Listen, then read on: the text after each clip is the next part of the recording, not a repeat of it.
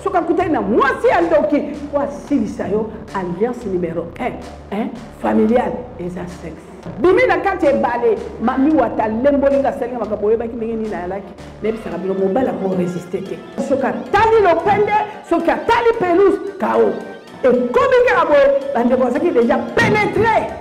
po alibere kaka boye akota nga bana na nzambe kwakwa tebeleke teke borepondre tebeleke teke oyoki bana na nzambe nyonso nga mama na bino nasalaki na sorcellerie o na sirene des oe ela na fetichus me na nini bana na nzambe ndombo numero 1 oyo koboma mutu bandoki basale makambo ya balabala bato bakanisa kaka ndoki noko na nga tata na nga jamais soki ozalaki moto ya sexe tikala koyeba ke tout le système démoniaque ya mokili ekobebisa yo surtout le publicité na bandi okarese mwana mwasi na bandi okasi na tuni na bishoriti meme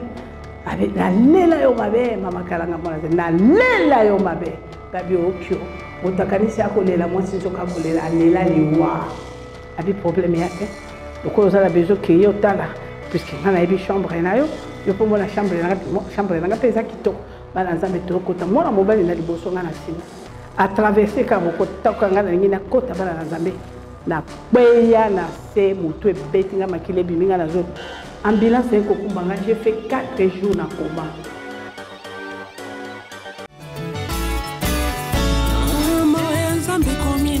Vous souhaitez édifier le peuple de Dieu avec un témoignage qui a bouleversé ou changé votre vie. Quelque chose a changé votre vie et grâce à ça, vous reconnaissez Christ Jésus comme votre Seigneur et Sauveur. Témoignage